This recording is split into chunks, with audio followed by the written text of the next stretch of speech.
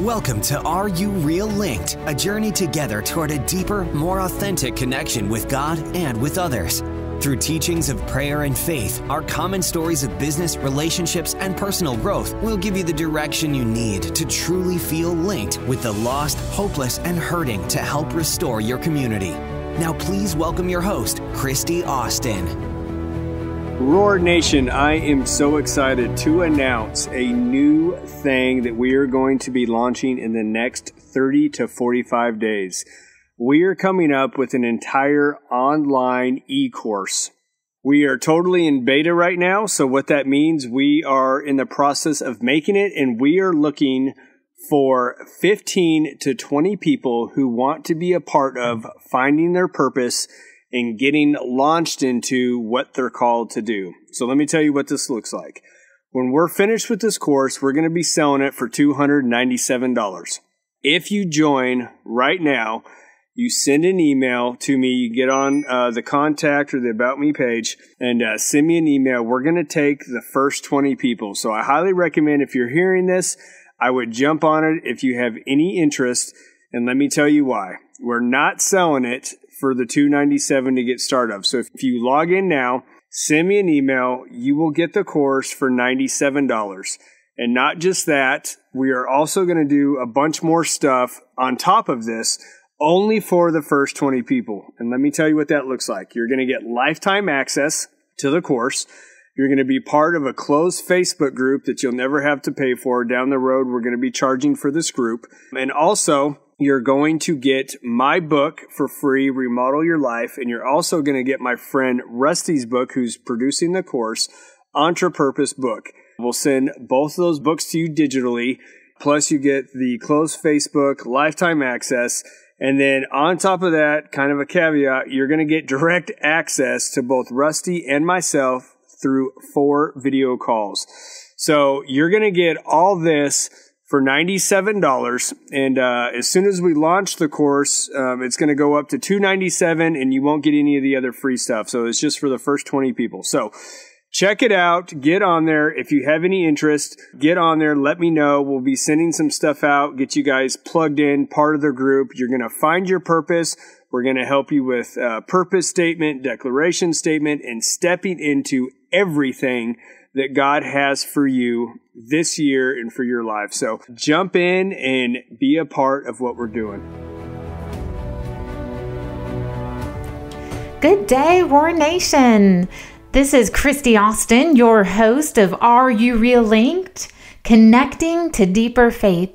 I am so excited to be with you here today as we continue on our journey to dive deep together. I want you to know that you can still catch John Fuller every Wednesday on iTunes. Google Play, Spotify, or wherever you get your podcast. The Are You Real team continues to grow and expand with Are You Real Business, Are You Real Success, and Are You Real Fit. So don't forget to check out those broadcasts. Well, today I am so excited. On Are You Real Linked, we are going to be diving in to the next segment of Luke 10.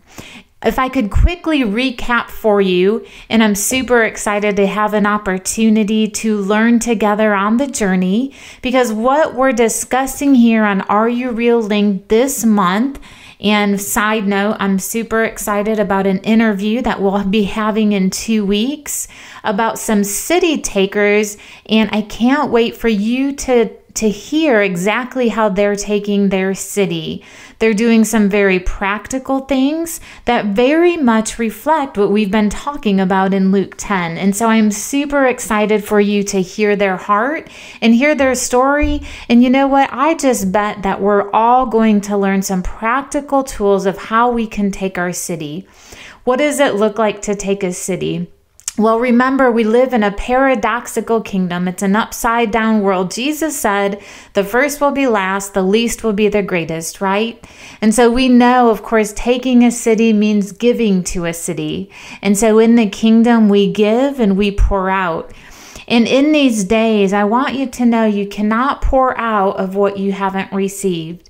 And so, the beautiful thing with Are You Real Linked, we're learning to be linked with the Holy Spirit and linked with each other.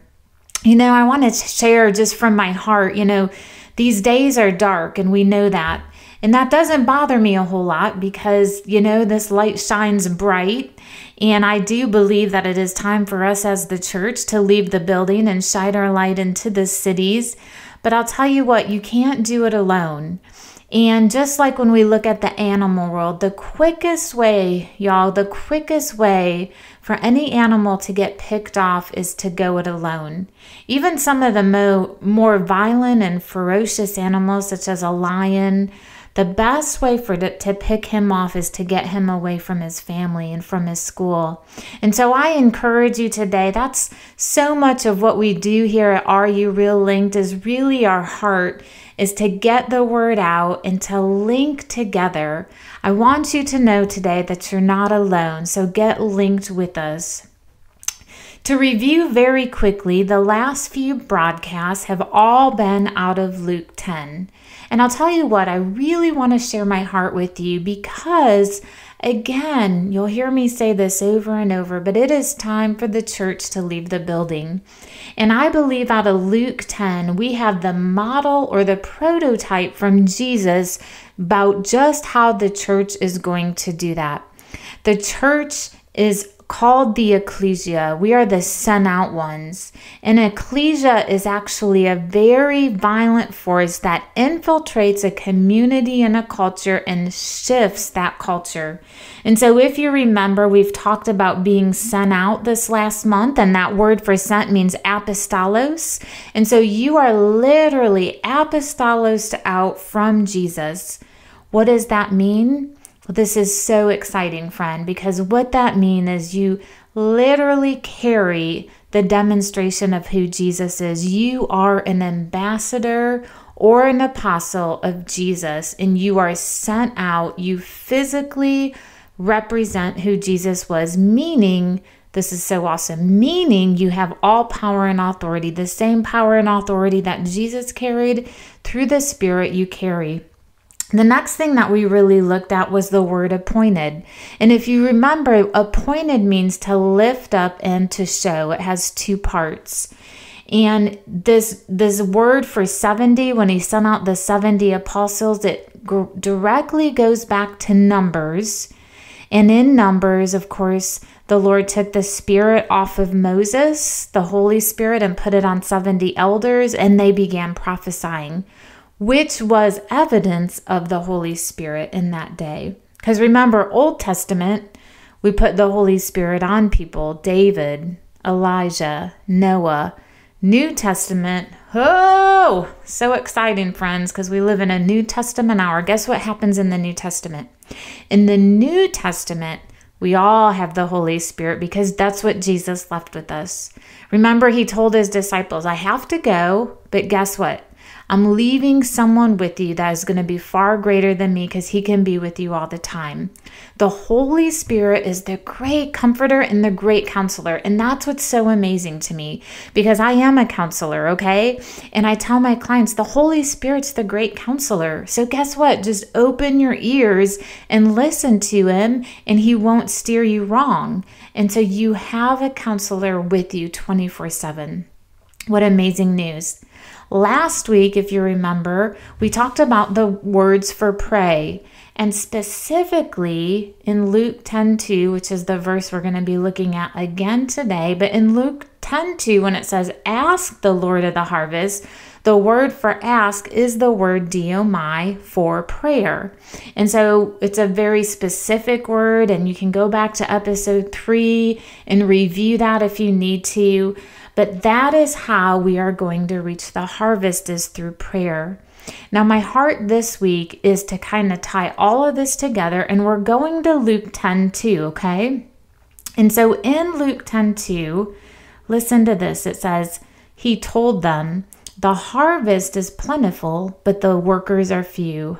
Ask the Lord of the harvest, therefore, to send out workers into his harvest field. Did you guys catch that? I found something very significant in that verse because in one verse he uses the word harvest three different times. Now, Jesus was an absolute brilliant teacher, and I'll tell you why. Because what Jesus did was he spoke in parables. What's a parable? Well, basically, a parallel, uh, I'm uh, sorry, a parable is a physical demonstration of a spiritual reality. And so, if you can envision a set of train tracks, one parallels the other. They might not look exactly identical, but they parallel each other. And so Jesus was such a brilliant teacher because he taught in parables. And so one paralleled the other. And there's so much we can take from this verse, but I really want to talk to you today and learn together what is this harvest.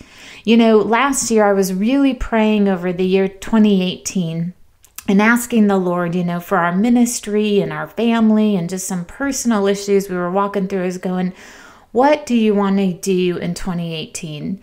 And he said, 2018 is the year of abundant harvest. And I said, okay, that sounds totally awesome. And so I dove into this concept of harvest because you see, in 2018, I don't know about you, maybe your life is different, but I can tell you, I live in the middle of suburban USA. Okay. We live in suburbs. We, we don't plant things. I wish we did. That would be amazing. Maybe I can learn. But we live in a community where I go to the grocery store and I pick up my fruits and vegetables. But what I want you to catch is in this day and age, they were very much of an agriculture society. And let me just put it simply to you, okay? Get in the mindset here. But basically, if they did not farm, they did not eat. That was just the reality of it, okay? This was absolutely critical and crucial to their everyday life. And so I love even stepping into another version. Listen to this it says, The harvest truly is great, but the laborers are few.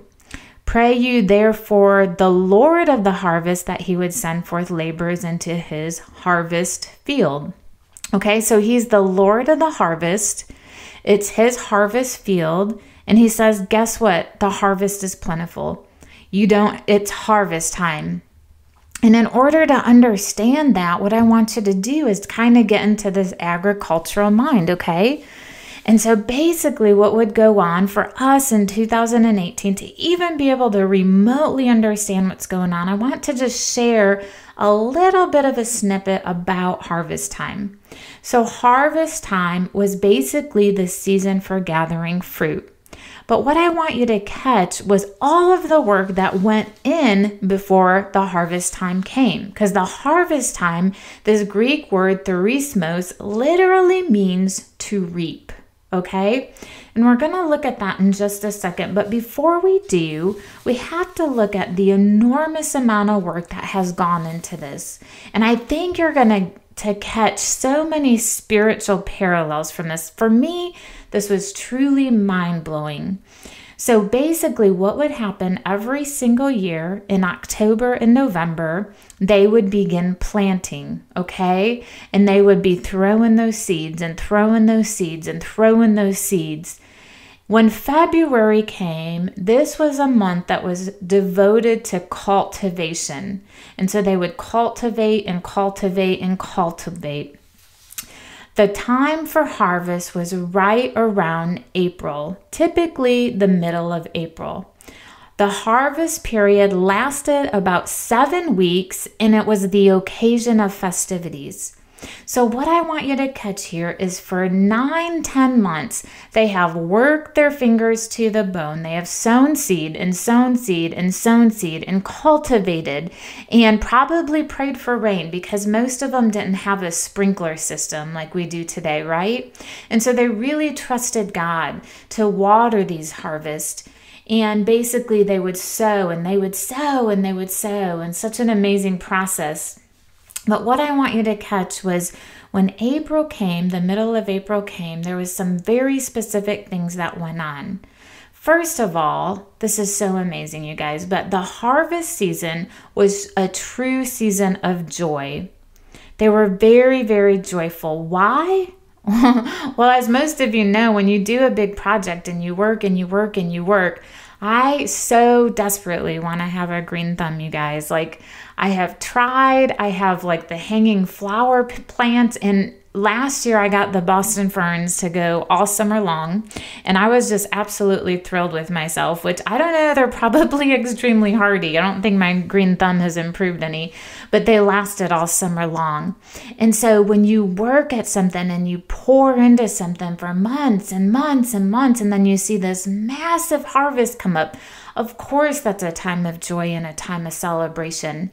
And so it was so amazing because what they would do is they would go through and they would take basically the first fruits, is what it was called, and they would offer those first fruits as a sacrifice to the Lord.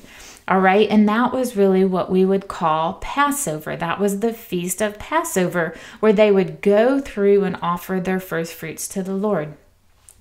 The second thing I really want you to understand was not only was it a season of tremendous joy, but guess what? It took a little bit of work. And so harvesting the crops involved cutting. And basically, what you did was in one hand, you would take a sickle, while the other hand held a bunch of stalks, okay? And you thrashed and you thrashed and you thrashed that sickle to cut away the stalks. And then what they would do is they would take that into the threshing floor. If you remember Ruth and Boaz, uh, that's how they met, was on that threshing floor, okay? And so this is what's so amazing about this this whole entire concept.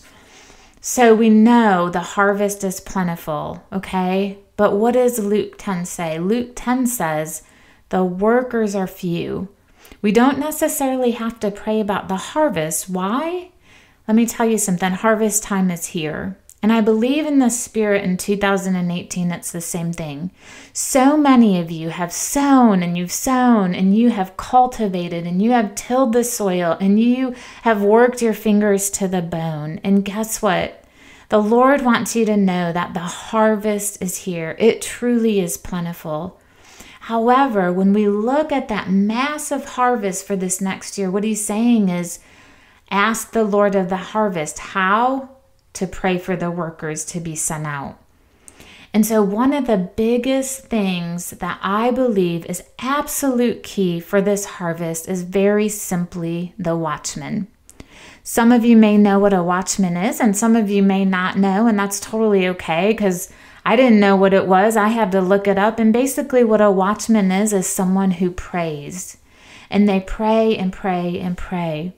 And what the Lord is specifically saying is to pray for the laborers to be sent into the harvest field. Because again, remember, it's not the harvest. The harvest is plentiful. That's not the problem. The problem is is there are few workers. Why are there so few workers? Let me share a piece of my heart with you. My heart is so for the laborers. And that might be an official title in a church, a ministry like a pastor, or that might be maybe you have decided that you are an undercover revivalist, is what I call it, at a hospital or at your business or at a restaurant or at your school or in entertainment or possibly in government or at Kroger's, wherever you grocery shop. And so listen to me.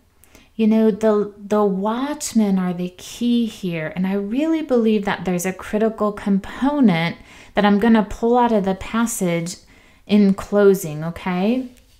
What is that component? Well, interestingly, when they would go into the field, the reapers, those who had the sickles, okay, and who were cutting away the, the sheaves, they were led by foremen, and behind them came other people who were taking part in the harvest, the young men and the women. That has so much significance to me, and I'll tell you why. In that day and age, when the harvest was coming up and it was getting close to ready, they had two watchmen in position who would simply alternate. So one watchman would sleep while the other would look out at the harvest because the harvest was ready and that was their business. That was their money. And guess what? That wasn't just their money, but a lot of people would have loved to get in on that business. And a lot of animals, of course, would love to get in on all the good food.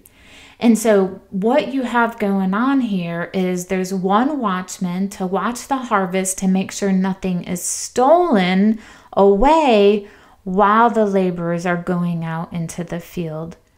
And I believe that is so critical and it's such a divine strategy for our day in the spirit. Okay, you guys? Out of Luke 10, it's very interesting. He sent out two by two. And I believe one of the strongest reasons for that was this watchman type concept. Because in the spirit, when one weak, one is weak, the other is strong. And I really believe that one was a watchman while one did the work. And I'm sure there are moments that they did them together. But I believe that one of the formulas for 2018 and one that I've really even developed in our own ministry, and it's been probably our greatest vision here, is that we have got to get linked with the watchman. And I don't know what you're called to. I don't know if that's formal ministry or if that's a business or if that's the place you work out. I don't know what that looks like, but we all need that watchman covering us because the thief comes to kill, steal, and destroy, but Jesus comes to give life abundant, right? And so I believe one of the greatest strategies to reach the harvest of our day ask the Lord, okay? What are we asking for? We're asking Him to send out laborers. And I believe that the watchman holds some of the greatest keys to bringing in the abundant harvest of 2018. And so I want to challenge you this week. I don't know what you're doing or what you're called to. You're called to something because if you're the church and the ecclesia, we all are.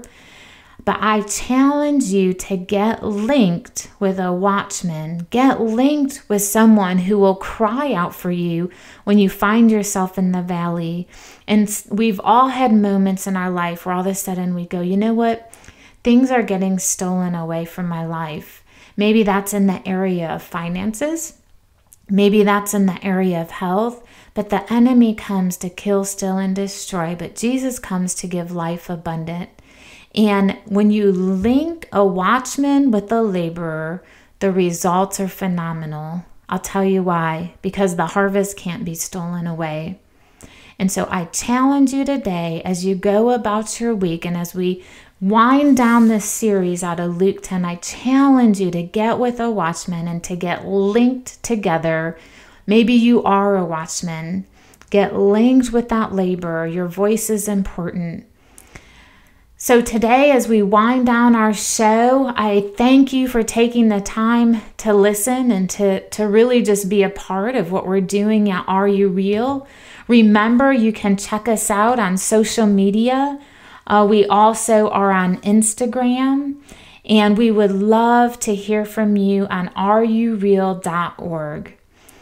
As we close down today, I want you to remember until we meet again rest in His love, dance with great joy, and aspire to go higher each day. This is Christy Austin, your host of Are You Real Linked. See you soon.